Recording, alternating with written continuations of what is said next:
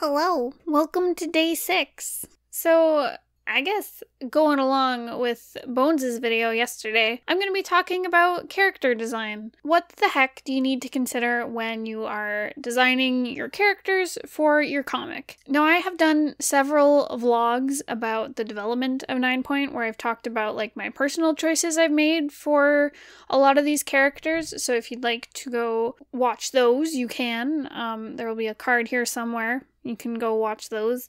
Um, but if you want the spark notes of character design, I got them for you right here. so this is what I've learned from designing a whole bunch of characters for Nine Point. Now, the best place to start off when you are designing your characters is to understand who they are as a character and their function in the story. And then from there, you got to figure out how you represent that visually. Um, so the first things to consider, and I often write down like a little little bullet list of these things um, and put it on the page as I design the character. So, for example, you need to know what their personality is. You know, are they timid? Are they mean? Are they kind? Are they two faced? Other things to consider is like what is their life like and how is how has it affected them? Like, you know, did they grow up rich and pampered or did they have like a really rough life that's kind of turned them really hardened and tough? These things will really tell you how to represent your character because, you know, no matter what you decide for any of these things, you need to be able to show that just by how they look. you know, someone should be able to look at your character and get a sense of who they are as a person. You know, they don't have to wear everything on their sleeve, but people generally kind of look how they are. and because comics are so visual, you really need to show a lot with just your design. And another factor to this with how much detail you are going to be putting into these designs, and even maybe some of the tropes you're going to be putting onto these designs, really depends on the character's function in the story. So, you know, are they a villain? Are they your main character? Are they a side character?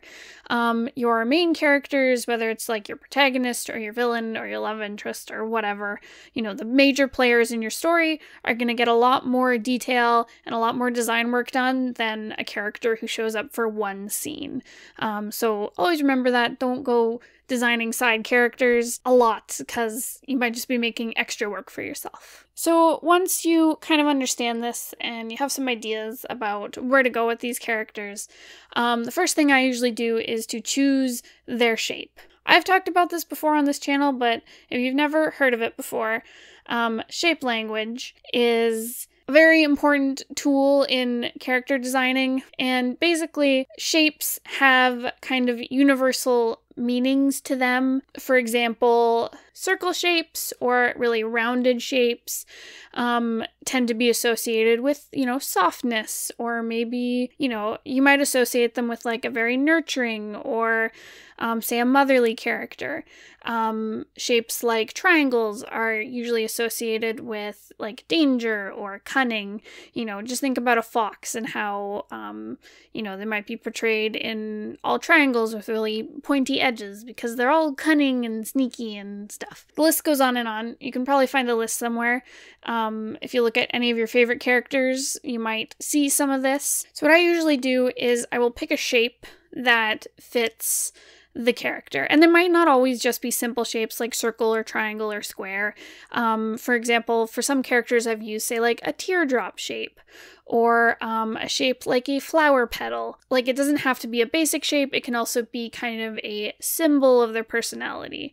Um, so, like I said, like flower petals um, was used for one of the royal family characters in Nine Point. You know, kind of a symbol of like elegance and beauty. But as long as it comes from, say, their role in the story or from their personality, any shape can really work. Um, and what I what I do once I have chosen this shape is that I will base their body type and say their hair, you know, the shape of their eyes or their mouth or you know whatever any any part of them. I will design it all after this shape. Um, and the same thing goes for their costume as well. It's all it all starts here. Now i recommend having your main shape. So let's say it's a circle, um, but you might also want to pick one or two smaller symbols or shapes just so that you know you can you can have a little more more fun and add more dimension to their their character. So once you have chosen the shape they're going to be based off of and you've drawn out say their body type and you have a general sense on that um, honestly to get to this point i might draw say like just silhouettes where you don't draw any of the details in your character. You just kind of like draw them as if they were all in shadow so you only see their outline just to make sure that their you know silhouette whether it's out of costume or in costume they look like the shape i'm basing them off of. So that's a good place to start. Um, but once i have that down that is when i start to work on their costume. For me i find that clothing dictates a lot about character and i really like to focus on it a lot. Um, you can really show the characters like um, shape language through their costume. It can change their silhouette entirely. So always be incorporating that shape you've chosen into their their outfits, no matter what they're wearing, and always be thinking about how their costume is an extension of their personality. I mean, definitely some costume choices are going to be like, well, this character would just would dress this way because they like it.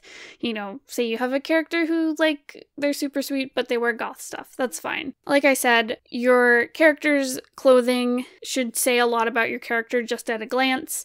Um, for example, say you have this evil murderous queen, you know, you can make her shape language very pointy. You know, you can use triangles to kind of like imply danger or um, cruelty. And then for her outfit, you give her a dress where um, the shoulders are spiked and there's spikes and swords and daggers. You know, whether it's like embroidery on the dress or just the silhouette of the dress, it's all implied in there. And that is just an extension on her her cruelty and her murderousness. and you can also kind of say like what characters are hiding with their costumes. For example, you might have, say, a knight who comes off as super scary and mean, but deep down they've got like a heart of gold and they're super sweet. Um, so, for example, you might make their body shape language out of more soft round shapes, but then you might make their armor out of like those spiky, dangerous triangles I was talking about. So, like, there's so many ways you can play around with shapes and their costumes, um, and it is honestly one of my favorite parts about character design. From there, you can start looking at their colors. And again, colors have a language to them as well. There's lots of meaning associated with different colors. You probably know it kind of like already, just because like everyone's kind of exposed to it through art and media. Um, so, for example, warm colors like red and orange and yellow, they might mean like sereneness or warmth or passion. Sorry, not sereneness. I read the wrong note there. Let me start over red and orange and yellow, those really warm colors, they might imply passion or warmth or kindness. Um, whereas, like, cool colors like blues and greens might mean a character is very, like, um, serene or cool or um, distant, maybe. So definitely choose your char- your colors according to your character's personality. I recommend sticking to like two to three colors per character so that you're not cluttered with a whole bunch of different colors and then you know things don't look very cohesive. Generally, I choose like a main color um, that is like takes up most of their design and then two colors to kind of complement it or contrast against it, whatever I'm doing. Um, and they are used more sparingly, sparingly throughout the design. Um, and finally, you're going to want to pick a through line of these colors with your cast of characters. Um, so, for example, you know, you might want all your, your main characters to show that they're on a team, say. You might want all of their colors to be based off the same three colors, where, you know, all of them might have, say, a red in part of their costume or and a blue in part of their costume. Um, and then, same thing might go for your villain team, but with a different set of colors. This can really help show alliances between characters or parallels between different characters, and it kind of it brings some cohesion to your cast so that it doesn't really look like they're all from, you know, a whole bunch of different worlds or stories. Another thing to consider when you're designing your characters is their expression and their stance. Um, you know, how do they hold themselves during different emotions? You know, two characters can show the same emotion in different ways. For example, anger. You know, some characters might go like big and feral and get ready to fight you, whereas another character might go quiet and poised and ready to strike like a snake or whatever.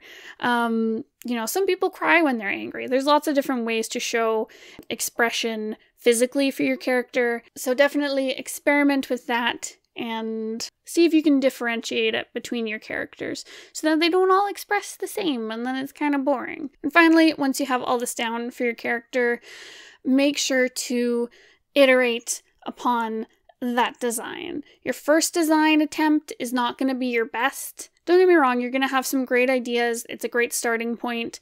There might be big portions of that design that you really love that you carry through to the next version of that design, but always try a few different ideas before you choose your final one um, because each time you kind of iterate on it, it's going to get better and more refined, and you're going to find new cool ways to show that character's personality.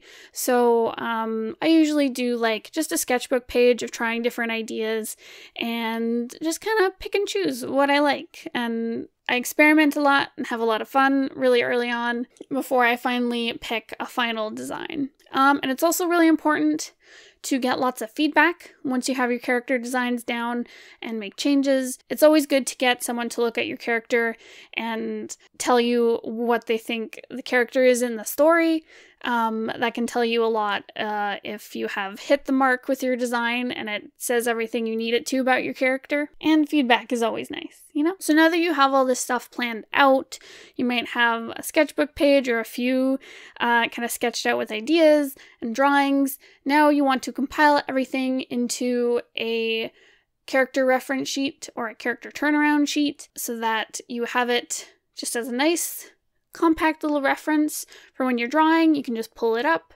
When you're drawing your comic, you've got your character there. You know exactly what they look like. Um, here's what to include in that. One, you're going to want to draw your character in a turnaround. So that means showing your character from the front, from the side, from the back, maybe a three quarter view if you want, um, just so that you know how they look all around from any angle. Um, so you can see all portions of their costume and their body. Um, so that, you know, when you're drawing your character from any angle in your comic, you have a reference of exactly what it looks like. It makes it really easy for keeping your characters on model. It's also good to draw examples of how they express, whether it's like facial expressions or, say, common gestures that they use all the time. Definitely put those down in your reference sheets. Um, again, just so that you aren't drawing your characters all expressing the same way. It's a nice reference to have. Also, you'll want to include their clothing. Um, you know, if they have several costume changes throughout the story, you can draw those and put those in. Um, if they just have one main costume, you can just stick it on the turnaround. You'll also want to include important objects or belongings, you know, for nine point, you know, I might include their sword or something like that if they're a knight. Yeah, these reference sheets will save you a lot of trouble down the road when you have been away from your project for a little while and you come back and you're like, I don't remember what this character looks like. And you just pull it up and it's there and you can draw it and it's really great. Because I find with nine point, because like a lot of these characters I have not drawn since I made their designs. So it's really great to have those designs open so that I know what the heck I'm drawing. And, you know, I didn't even design them that long ago. It was just like a couple months ago that I finished a lot of these designs. But having them there just makes it so much easier on me and I can just focus on making the comic pages good instead of having to worry about like remembering what my characters look like. So there you go. I hope that explains kind of my process for how I design characters. A lot of it I think you'll get better at it the the more you do it. Study characters that you like the designs of from um you know media you like whether it's like animation or other comics or whatever go look at those, kind of break down, you know, how is the character's personality represented in their costume and their shape and their colors, and kind of apply those principles on your own design. And just the more you do it, the better you'll get at it. As frustrating as that sounds. Um, yeah, so thank you for watching. I hope that helped. Make sure to subscribe, I guess. Um, we're almost at 20k subscribers, which is really cool. So thank you for watching and it, like following our stuff. That's really sweet. And um, I guess I'll see you in like two days. Okay, bye, I guess.